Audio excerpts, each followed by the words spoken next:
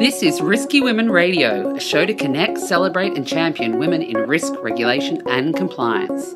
Sharing insight and perspective from the most influential members of our global Risky Women network on the latest developments we need to think about, the challenges we should all talk more about, and the innovation we are most excited about in governance, risk, and compliance.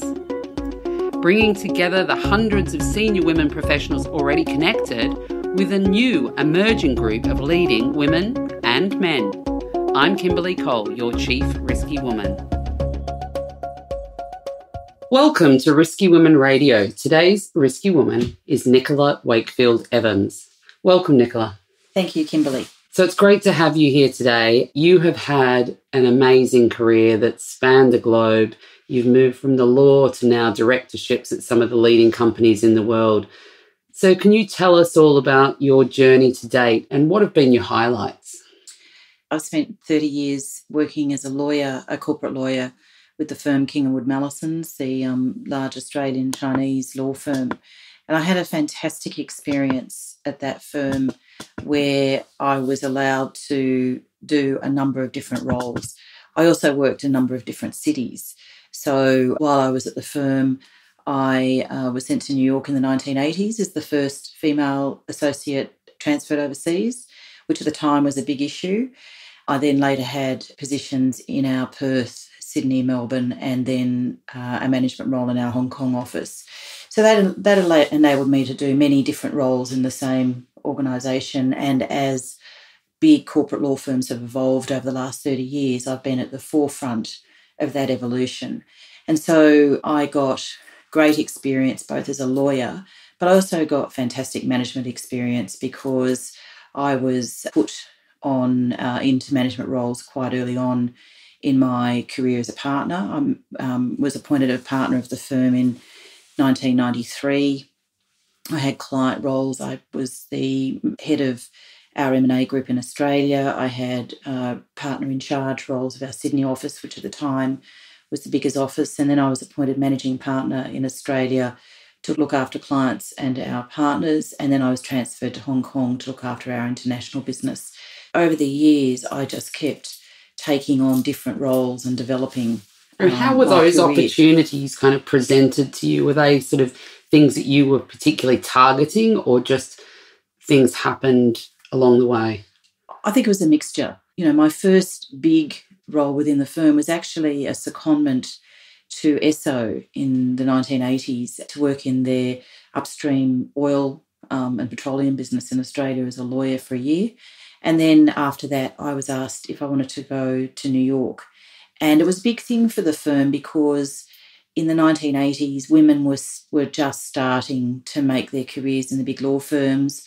Uh, there was a worry about sending a young female lawyer overseas that role sort of was presented to me. I didn't seek it. But certainly some of the roles I did go after. Once I started to get management experience, I obviously wanted to go to the next level.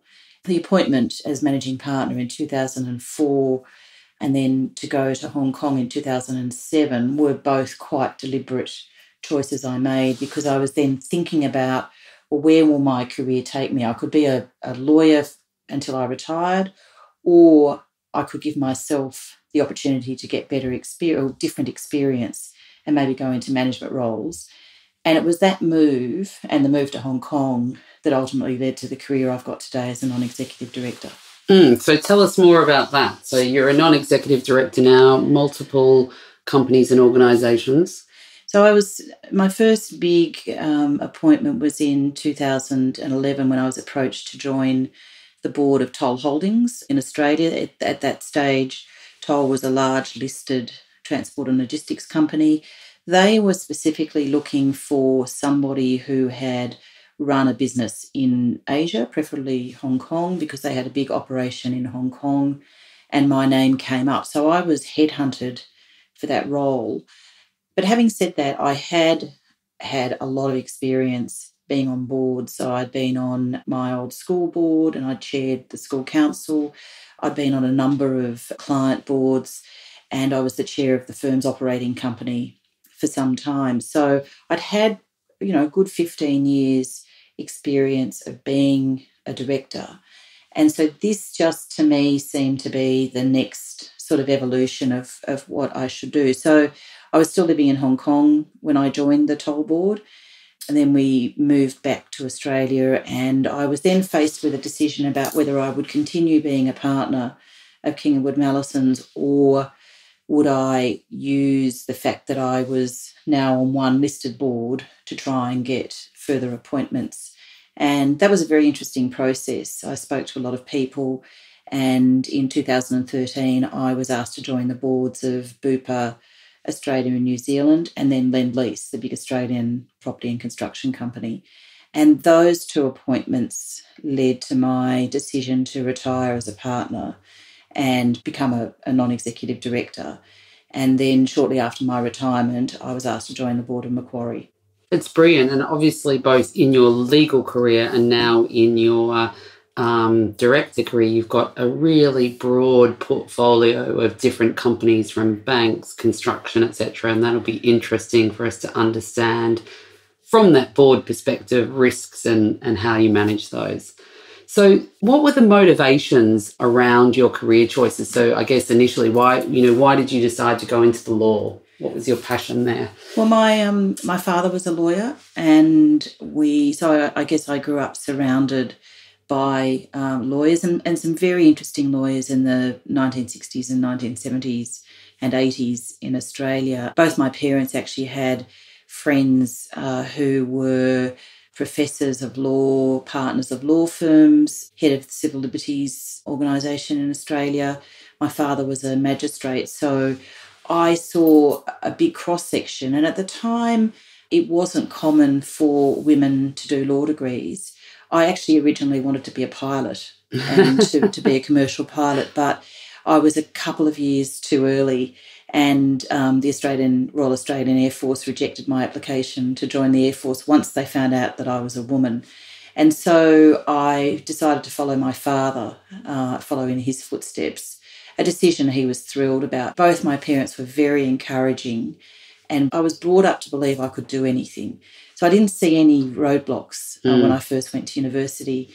I was also lucky to go to the University of New South Wales Law School at a time when it was a new law school in Sydney. It was try it was trying to be very different from the established law law school that was there, and so I was at, there at a time when it was very exciting to be both a student of the law school at that university, to be at that university, and also to be at a time when more and more women were doing law.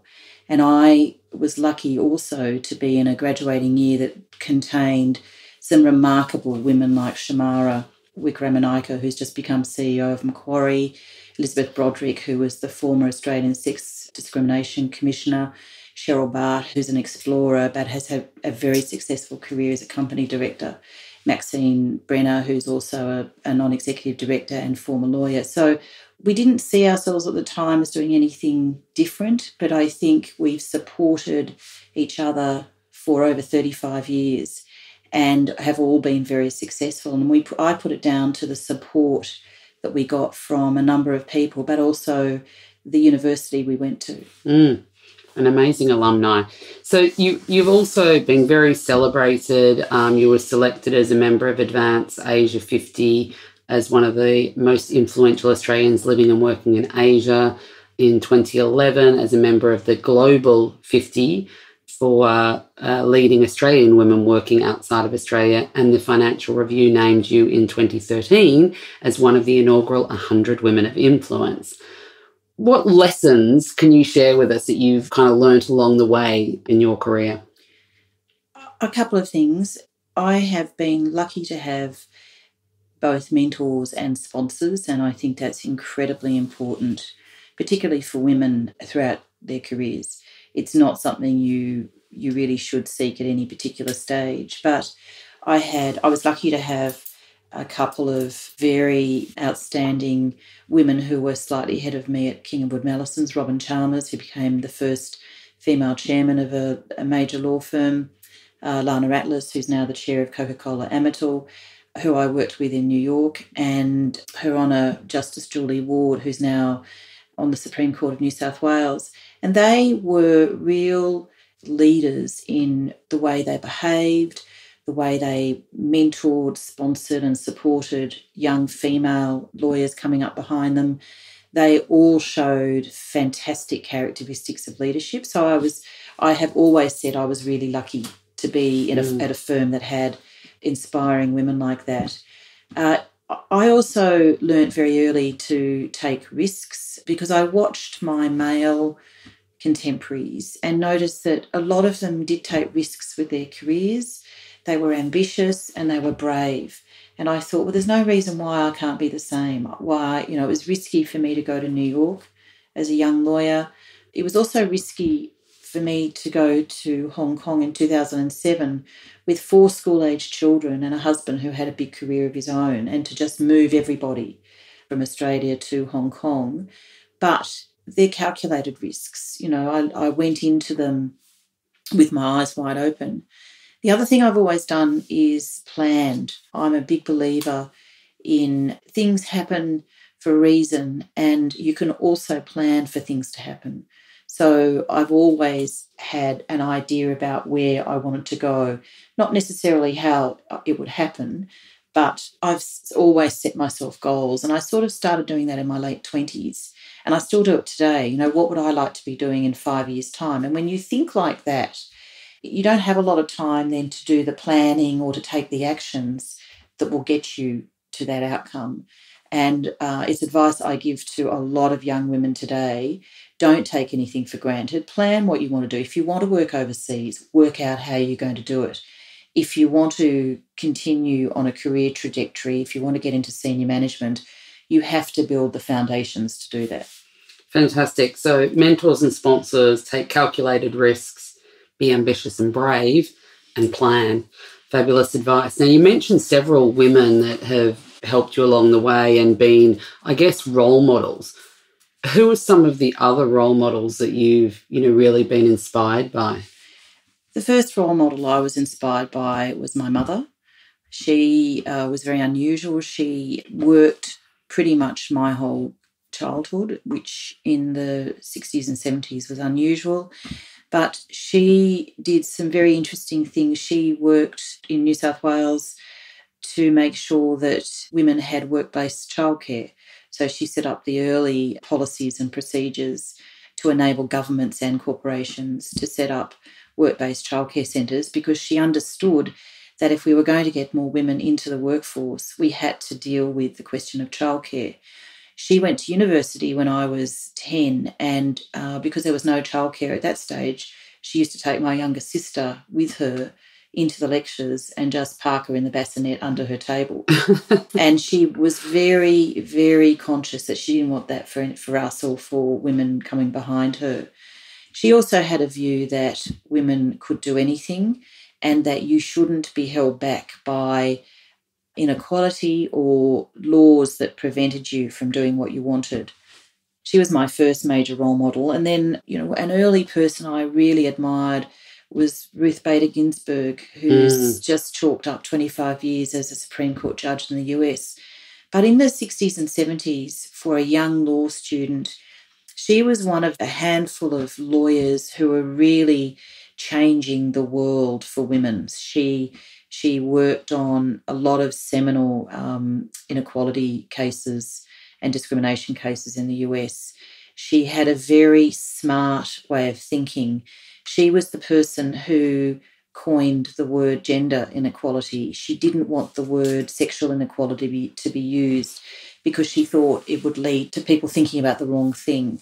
And it's interesting that there's a spotlight on Ruth Bader Ginsburg today because her career has been inspiring, particularly for, for a lawyer.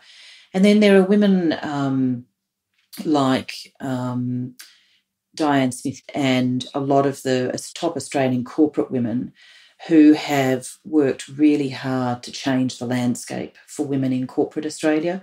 She was the president of Chief Executive Women, and she joined a long line of fantastic women who have worked really hard to increase the number of women in both executive and non executive roles. Mm, very inspirational, the uh, RBG uh, documentary that's out at the moment. So, Let's shift gears a little bit and get into the sort of expert opinion piece. Really keen to get some of your thoughts and, and the view from your sort of vantage at the board level. So, given your position on several, you know, of Australia's leading companies as a board director, can you share what are the key characteristics that you think are important for a high performing board? And what are the attributes of board directors that they need to hold to be effective in delivering their duties? It's a really interesting question, Kimberly. And I, at the outset, I want to say that I think, particularly in Australia, but globally, the role of non executive directors is under the spotlight at the moment. And in Australia, it's under the spotlight because of the Royal Commission into Financial Institutions, the report which was handed to the government yesterday and will be published next week. Will have a lot to say about how our biggest organisations are run, including how the boards operate.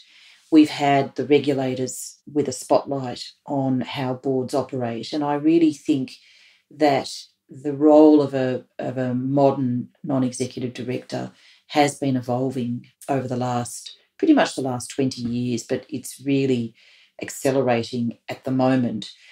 There's been a change in community attitudes. The communities demand, I think, and are, will continue to demand a lot more of non executive directors. So that means that the attributes you need to have, the mix of directors on a board, companies and boards need to pay more attention. So, um, the key characteristics for a high performing board the biggest one is to have a mix of directors with a mix of skills, diversity, and backgrounds. There's a lot of debate at the moment about what a high performing board should look like. And I really think that it's going to be different for every different organization. So there's not one a one right. size fits all. Mm. There's not the same formula. And directors and chairmen need to be a lot more proactive around seeking potential directors with the right skills and to make sure that those skills and the characteristics of the director fit with the other directors. Um, there's a lot of debate for them at the moment, for example, that every board needs somebody with cyber security expertise or innovation expertise or AI expertise. I don't really buy into that. I think that you need to, each board needs to look at the organisation, where that organisation is on its journey, and what skills are needed at that particular time, and then looking into the future.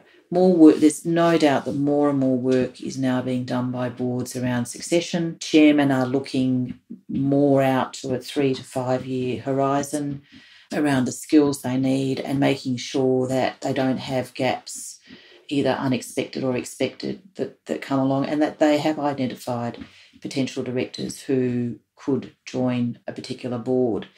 High performing boards, I think, also need to have people who can look over the horizon. Board, interestingly, boards have a, a much longer term view of a company and its performance than necessarily the executive teams.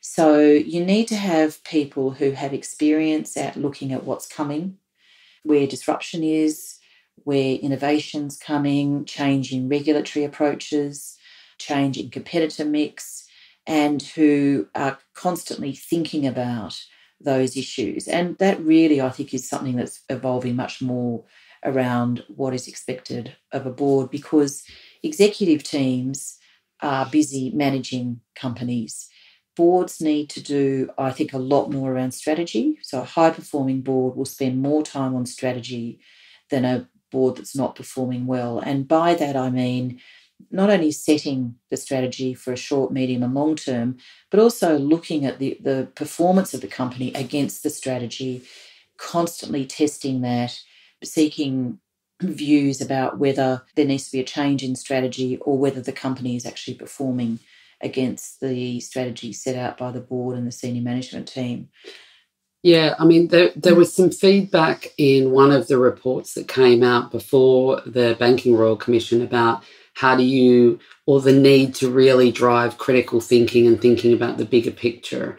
Um, and obviously, the board's setting the strategy, but how does the board help the organisation in terms of their ability to learn and anticipate and adapt as well is, is key.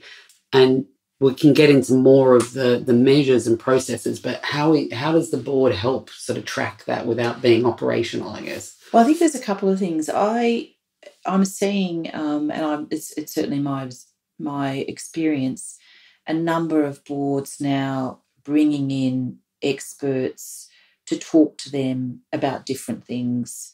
That's the first thing. The second thing is boards need to understand their organisation. I think the days of not visiting offices, factories, work sites, and also understanding the competitive landscape are gone.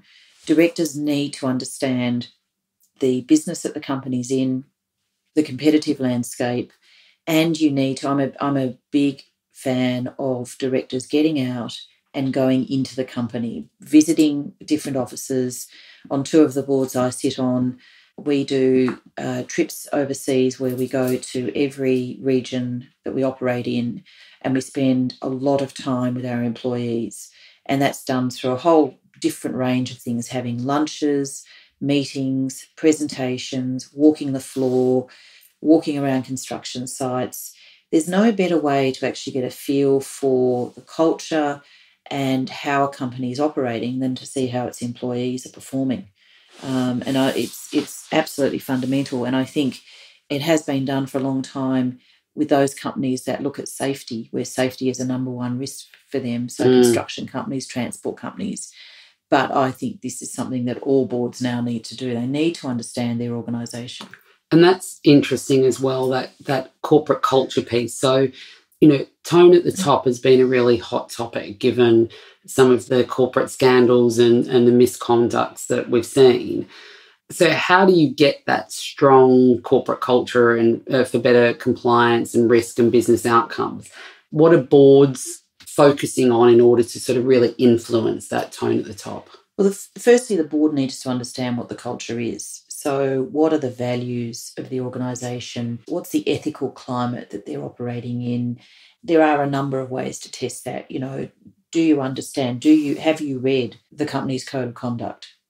Have you um, interrogated the head of risk or the general counsel or the head of compliance about the compliance against codes of conduct?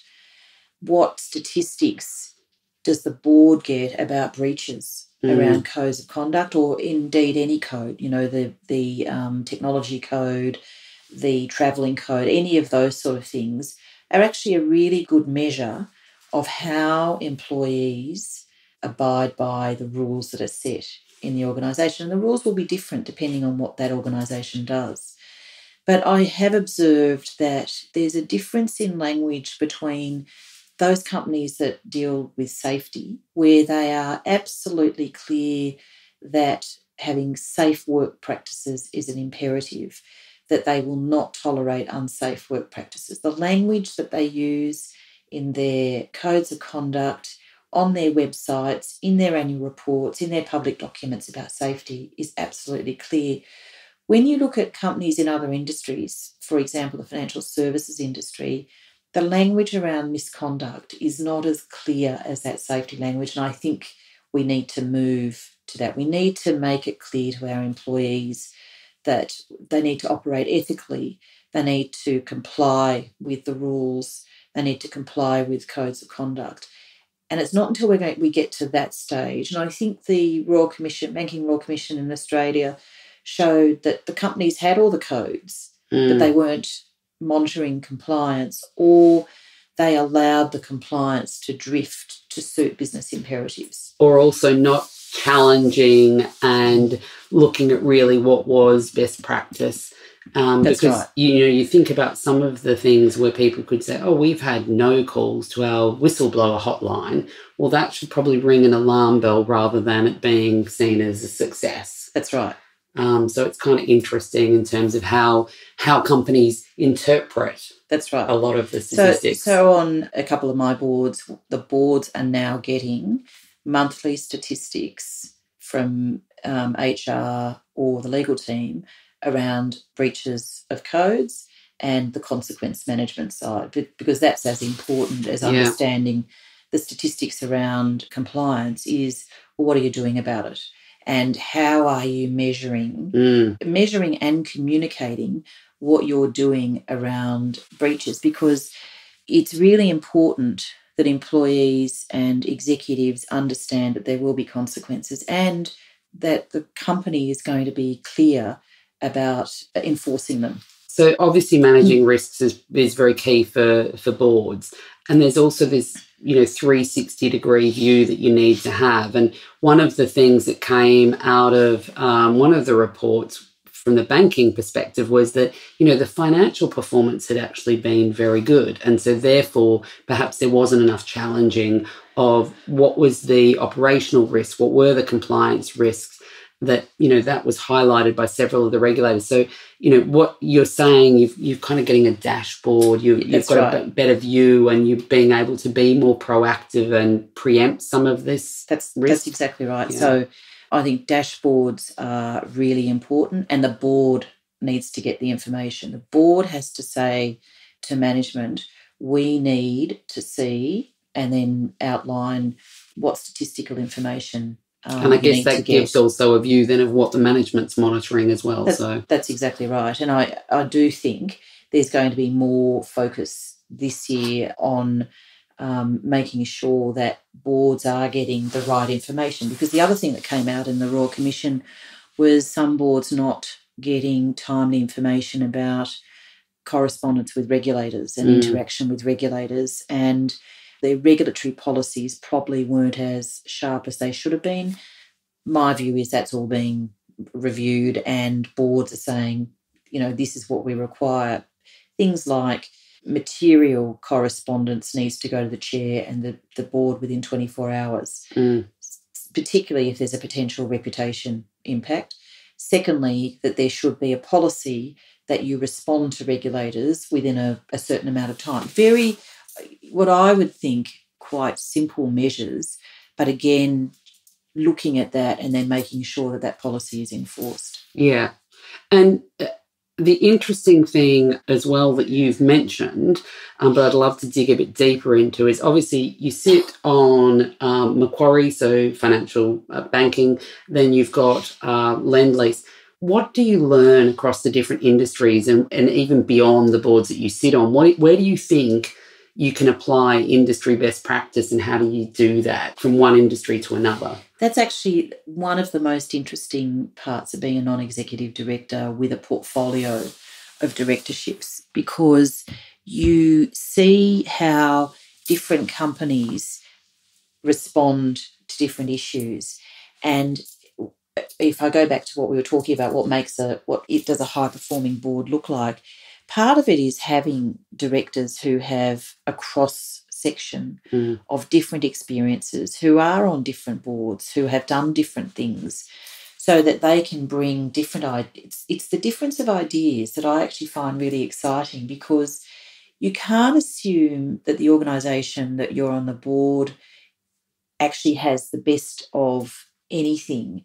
And in fact, you want them to be continually thinking about doing better. So, do we have the best safety policy? Lend Lease, which prides itself on having an uncompromising view about unsafe work practices, changed the way it approached safety uh, materially um, about six or seven years ago. Steve McCann, who's the CEO, decided that there were a number of jurisdictions in the world where we could not work safely. So Lend Lease got out of those jurisdictions. It's very unusual for companies to do that and to base that decision on a safety Mm. issue. He then um, had the had the team, the executive team, work on how do we get to the next level to operate safely. What do we have to do? And a lot of work was done where we now have minimum standards for everything we do. And did he look at other construction companies or did he go and look at he looked, airlines he looked or at he looked the company looked globally at best practice in our industry but also in you know what other industries were doing we did look at the airline industry Mm. because they do offer, you know, say they're obsessed with safety. Yeah. We wanted to get obsessed with safety, which I think largely that he's achieved that with this focus on safety. And it's an example of where you can look at a whole lot of different things to actually build something that's better Yeah. within an organisation and change the culture. And Lendlease, in my view, definitely changed its safety culture, became obsessed Mm. about it. It wanted to be as good as the best performing companies in the world, whatever industries they were in from a safety perspective. That's not to say, though, we can rest on our laurels. Safety is one of those things that you have to be right on top of and you have to be continually taking it to the next level because safety is all about the performance of people. Mm. Why do your people do something? And if you look at accidents and incidents, a lot of them are because somebody wants to either take a shortcut or they've not put in place things that need to be put in place to do something. How do you get inside an employee or a contractor's head to make sure that they don't do that? There's lessons to be learnt there for financial institutions on misconduct. And We've got- maybe some of our sporting institutions. and may, maybe some of our sporting institutions as well in relation to culture. So you've mentioned a lot about, you know, diversity and I guess ultimately diversity of thought, skills, etc. And you also chair the 30% club in Australia. Congratulations that this week just slightly missed the 30%, but very close. So what is your ambition now for uh, the 30% club? It's a very complex question. The goal that was set in 2014 by a combination of the Australian Institute of Company Directors and the 30% Club Australia was to have 30% of non executive directors of the ASX 200, so the top 200 listed companies in Australia, reach 30% of female non executive directors by the end of 2018. We announced last week that we've reached 29.7%, so we're really close. Really pleasingly, we've done that over nearly four years without quotas. It's involved the work of an enormous number of people. So, obviously, the AICD, the 30% Club committees, but we also have 100 of our top chairmen of our listed companies who are involved. We've had great support from the federal and state governments. I'd like to call out Kelly O'Dwyer, who's been a staunch supporter of the 30% Club and the concept since it was brought in. And the ASX, of course, with its um, governance guidelines for listed companies. We're not going to sit on our laurels, though. The goal was deliberately set for a group of companies. We now need to make it a sticky goal so that 30% is the floor, but we need to make it a, a goal to reach a, a larger number of organisations. Interestingly, over the four years, we've seen a big shift in the appointment of women on government boards. Most state governments now have a minimum requirement of 40 to 50%, or 40 40 20, or 50 50, and most of them are well above 40%. So the concept has actually dragged a really good performance in other areas. And we've seen this, the same in a number of, of our large public, uh, sorry, private institutions. We need to do more in relation to organisations like sporting bodies. Um, we need more women on some of our sporting bodies.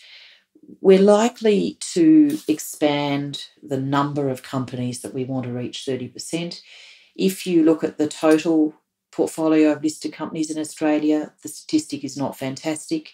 If you look at, for example, at the ASX 300, we're just under 20%. So we've Right. actually got a long way to go. But what we'd like to do is use this really great piece of work that we've done to date to now look more broadly across our institutions in Australia.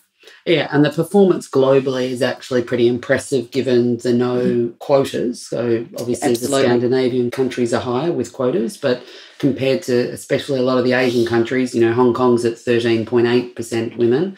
So it's actually going Yeah, it's going strongly in the right direction. It's going in the right direction, and we are really pleased with, particularly after last year, where we thought that we might go backwards after a- number of very public issues that happened last year in relation to women.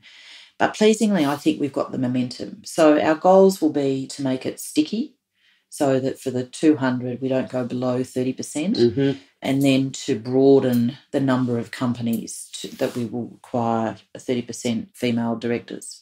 And what have you seen? Obviously, there's been a lot of changes in gender diversity over the length of your career at both executive and non exec level. What have been the key changes that you've seen and kind of the impact do you think that that's made? There is almost no role now that women can't do. So if you look at just the last 30 years, we've had a lot more female lawyers, which is the, the profession I come out of. We have a lot more women in corporate roles. Still not enough. I mean, we've talked about non executive directors. Our statistics on executive Mm. dir- uh, female directors, so women in top executive teams in, in companies, is not fantastic. And that is another goal that we're, we're going to work towards and work with uh, organisations like Chief Executive Women and the AICD and the ASX because they are the pipeline for the non executive side. We need to increase the number of women in senior roles in our organisations.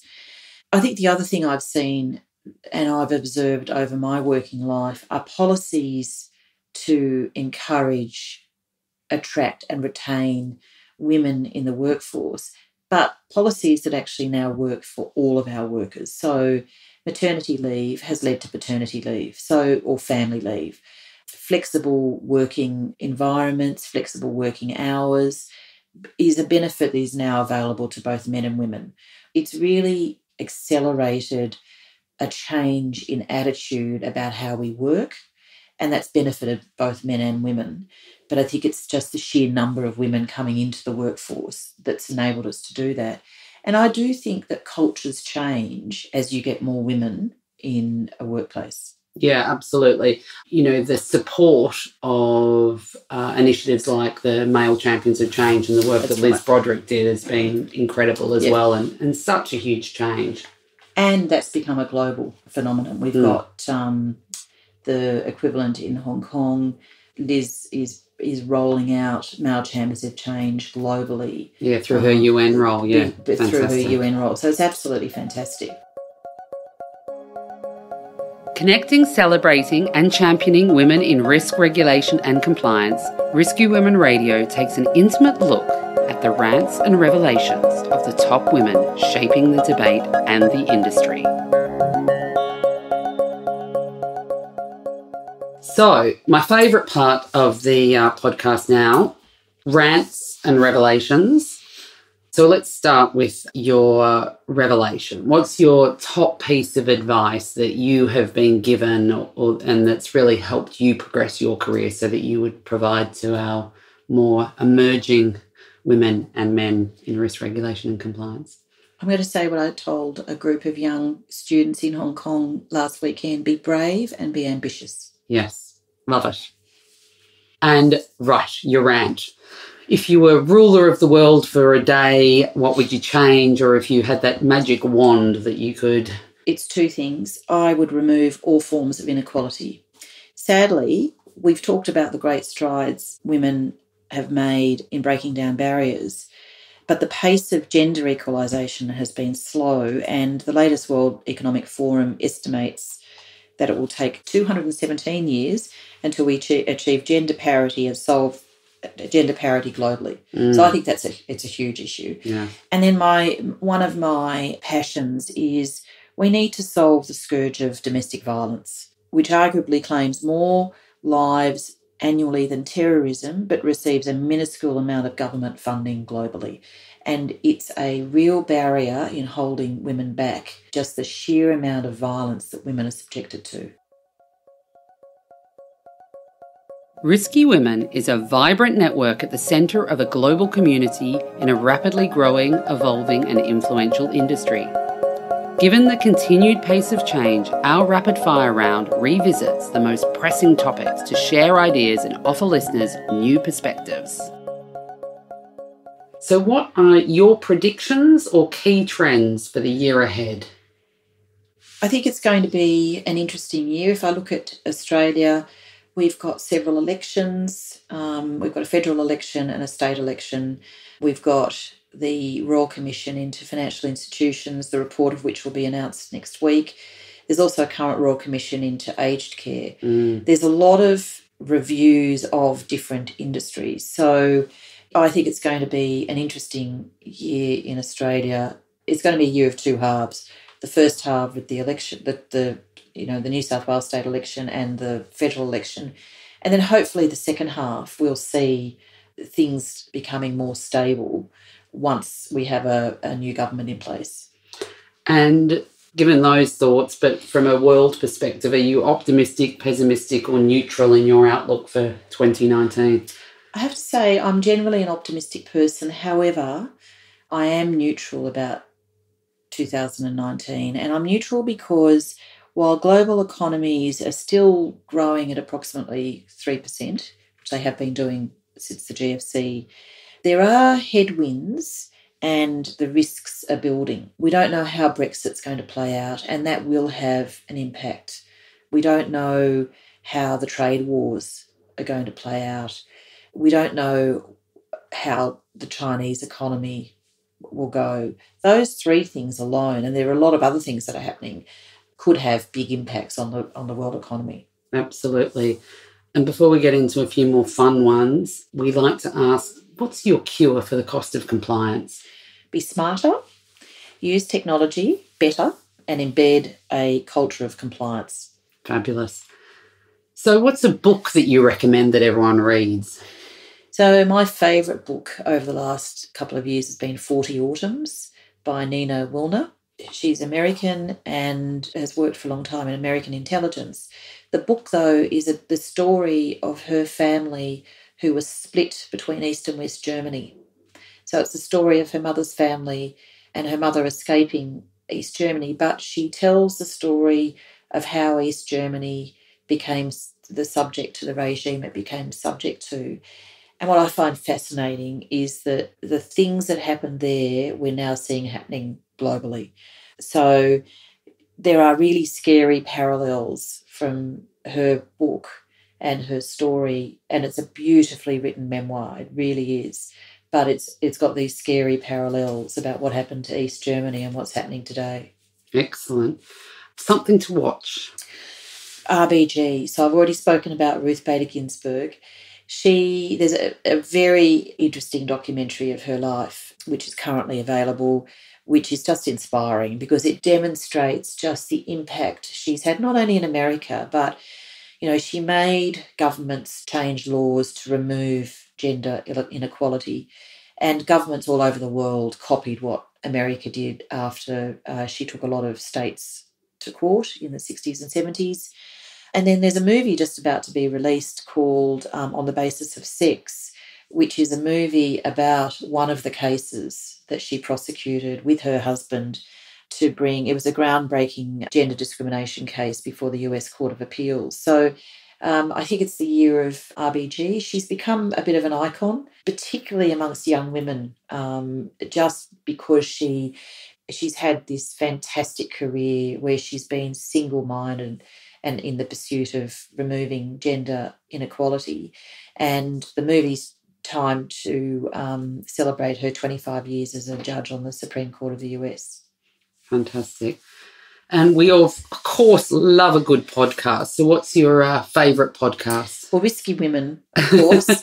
but um, I'd like to call out two if I could Women with Clout. So, Catherine Fox and Jane Caro.